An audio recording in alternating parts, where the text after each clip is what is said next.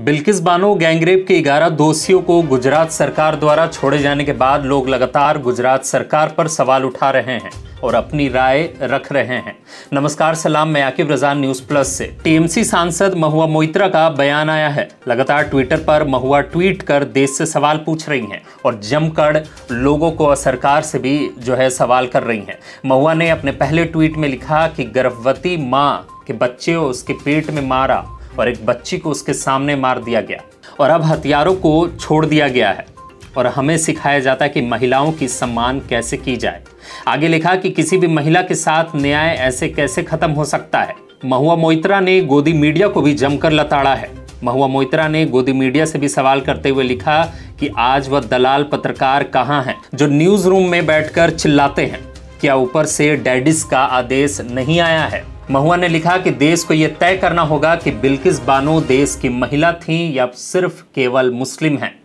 वही शिवसेना की सांसद प्रियंका चतुर्वेदी का भी बयान आया है। उन्होंने लिखा है कि रेप के दोषियों को रिहा करने पर न्यूज़ चैनल की टीवी डिबेट मैंने मिस कर दिया या फिर न्यूज़ चैनल जानबूझकर चुप है। उम्मीद कर रही हूँ कि प्राइम टाइम की महिला एंकर्स कुछ हिम्मत दिखाएँगी और बोलेंगी।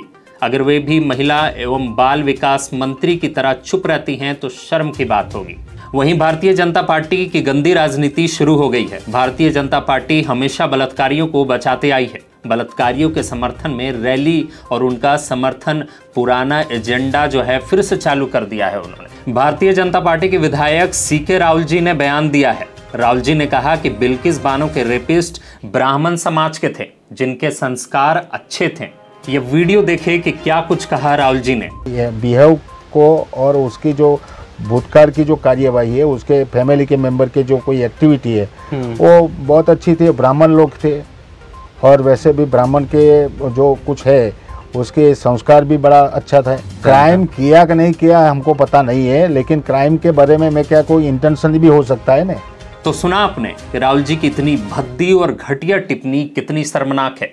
बिल्किस बानो के दोषियों की रिहाई के बाद अहमदाबाद में महिलाओं ने भी उनके खिलाफत प्रदर्शन रैली निकाला है। अगर आप हमारे वीडियो को फेसबुक पर देख रहे हैं तो हमारे पेज को लाइक कर लें। कमेंट करना ना भूलें। अगर आप हमारे वीडियो को यूट्यूब पर देख रहे हैं तो हमारे चैनल को सब्सक्राइब कर ले। बेलाइकन दबा दे। बहुत बहुत शुक्रिया।